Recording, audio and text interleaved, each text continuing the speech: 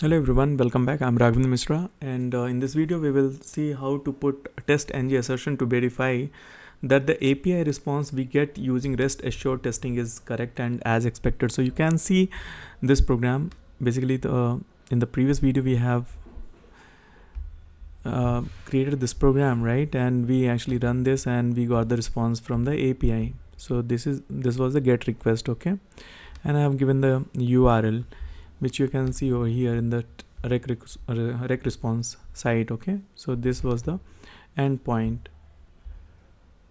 Let me just go back and uh, yeah. So this was that list user and this was the response we were getting. Okay? So how to verify whether we have got the status code and uh, uh, stuff like that right? So we can uh, validate certain points while putting assertion test and assertion on the response right? So we can validate various part of the api response such as status code header body content and all that right? So you get body uh, content and status line get time status code. So here uh, let us you know verify the status code whether we are getting the 200 or not. So you as you can see on the console but how would you uh, tell that TestNG to pass or fail your test case based on the response you are expecting right? So here it has passed okay? Because you have not put any assertion as such. Rather i mean it has executed whatever line of code you have written inside the get request method okay?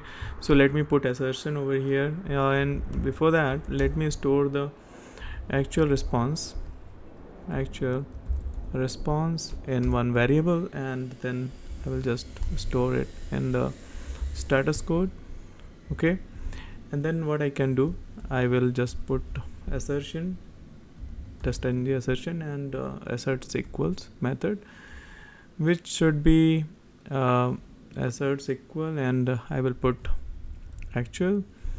And then this is the actual response right? So I can put this here actual response. And here I can expect whatever I want to okay? So if I am expecting that this particular you know endpoint or API returns me 200 and based on this particular you know uh, that response 200 if it is uh, validating or it is uh, returning the 200 then it should this test case should pass or fail right? So that this particular you know assertion will decide okay? So let me run and uh, see the result I'll save and let's run. Okay. So you can see this particular you know test has been passed. You can see the console also. So this assertion yeah passed. Get request is passed. And uh, let me just also add to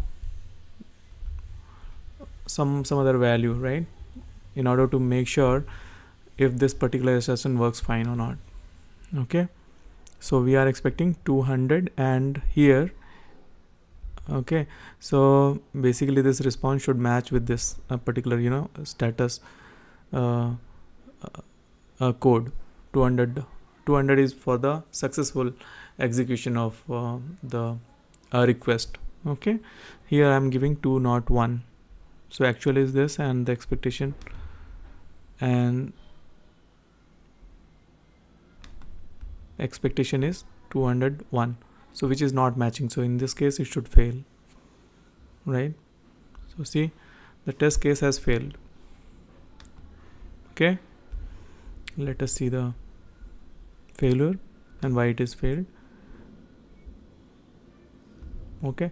So expected was 201 but found 200 so actual was uh, 200 okay and expectation was 201 okay so this is how you can validate the response of the API so all right uh, so that's in that's it in this video and I hope you have liked the explanation and learned from this video.